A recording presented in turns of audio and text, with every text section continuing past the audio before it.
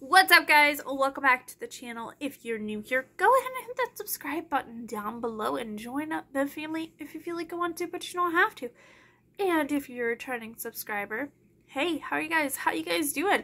How is your Monday? Is anybody having the case of the Mondays? Because I sure am. So, I woke up this morning coughing, feeling gross, so I texted my boss that I'm going to take a sick day, and she was like, cool, see you tomorrow. Anyway, so I took some meds because I felt feverish, just coughing the whole nine yards. And laid down and was starting to fall asleep, and then I heard my doorbell ring. And my lovely mailman brought me my ColourPop order. I was so excited to open this because I bought one of the new collections and I bought some old stuff and then I bought another mystery box and when I opened it I realized it was literally the same exact box that I had already unboxed.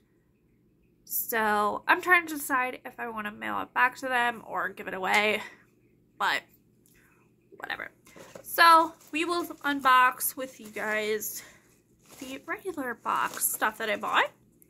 So first up, this is the new collection. They released the Heavy Petal collection. This is so cute. I love how it's got like kind of messed up, distorted flowers on the front. I saw that somebody talk about this the day before it was released, and I was like, I want it.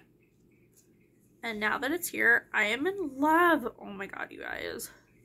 This palette is perfect for spring. Look at these shades. This shade is so pretty. It's pulling silver, but it's more of a lavender. Ugh. Have a shade called Pollen right here. That's funny. So I'll show you guys the names. Full Sun, Pollen, Floral Feels, Hyacinth, Peony, Daisy, but it's D-A-Z-E-Y, Garden Variety, So Spring, oh, So Sprung, Potting Mix, Feeling Grounded, Thrive, and Freshly Cut. I needed a spring palette because I really don't have any. And I love ColourPop's palettes. Their palettes are some of the best. And I fell in love with this palette because it is a neutral palette, but it does have some fun pops of colors. Like that hyacinth color is so stinking pretty. I cannot get over it. So in this collection, they did have four blushes, the palette, lipsticks, and I think a gloss. So I ended up buying the palette, obviously. And I did buy two of the blushes. So the first blush I bought is Dream Garden, and this is such a pretty color. Look at this, you guys. It's definitely brighter pink than I thought it was online. Online, it looked more of a softer pink, but this kind of looks Barbie pink. I don't think it's showing it off on camera, but it is definitely Barbie pink. Not as bright as Barbie, but kind of a muted Barbie pink, if that makes sense. And then Spring Flush. This looked peach online, and it is a little peachy, but it's more of a, like a peachy nude.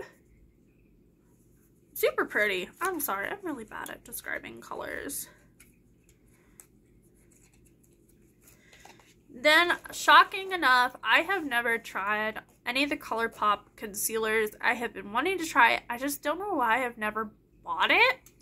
But I did pick it up. I picked up the Pretty Fresh Hyaluronic Creamy Concealer because I've heard everybody talk about this one. And I am super excited to have it. I picked it up in the shade 15W. We'll do a little swatch of it. That's a little light. But they were sold out of 20, light 20 and light 30. So I had to go with fair 15, but I'll make it work. Because aren't you supposed to have lighter under eyes anyway? Why are you? Okay. But yeah. So, excited to have that. Up next is the ColourPop BFF Volumizing Mascara. I've been wanting to try a mascara from ColourPop. Because again, I don't really hear a lot of people talk about their makeup. I mean, I hear people talk about their foundation, their Super Shock shadows, their Super Shock blushes, but I really don't hear much about their mascara. So I picked it up in the shade Black on Black. It's really cute. It says Lashes Check. And it's just your standard wand. I mean, it's an hourglass shape, which I kind of like. So I'll be excited to try that out.